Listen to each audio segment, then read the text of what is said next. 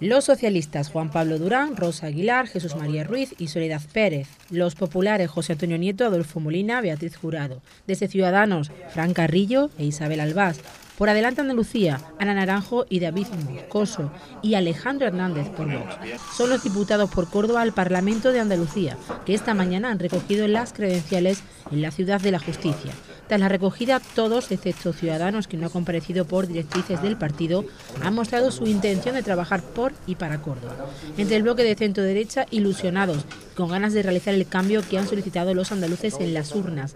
Y desde el bloque de centro-izquierda, con incertidumbre por parte de los socialistas ante la nueva situación que se presenta. En la misma línea, adelante Andalucía ha mostrado su intención de trabajar por las políticas sociales y defender los intereses de los ciudadanos en esta nueva etapa.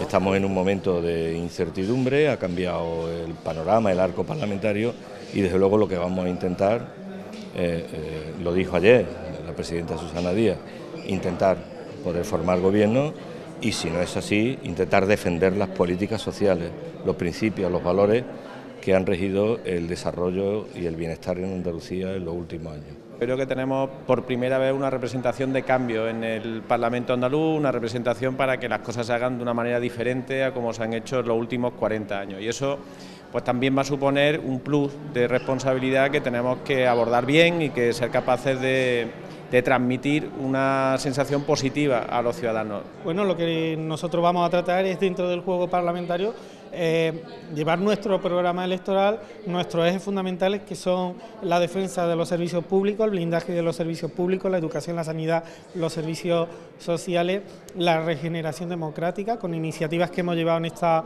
legislatura, volveremos a insistir y que forman parte del plan del programa de gobierno que llevábamos. De entrada sentido común, es decir, los andaluces han votado querían un cambio y nosotros pues coadyuvaremos a, todo lo que a todo lo que se ha, se ha mandado ¿no? desde las urnas y en principio pues esa será nuestra función y siempre por supuesto sin perder de vista las líneas rojas que nos marca nuestro propio programa y nuestro manifiesto fundacional fundamentalmente.